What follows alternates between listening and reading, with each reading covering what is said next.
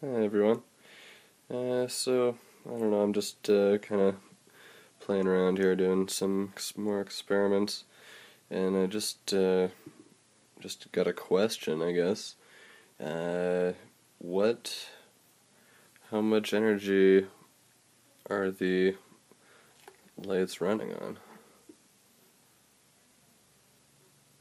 What uh, are the lights consuming?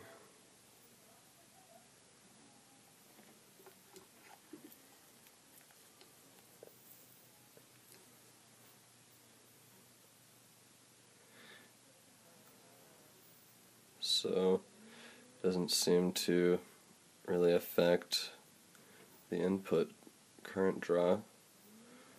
Uh,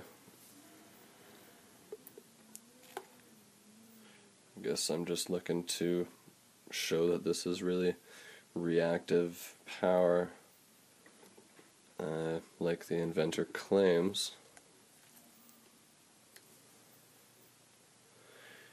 There's no extra current draw, it's just flowing in and flowing through.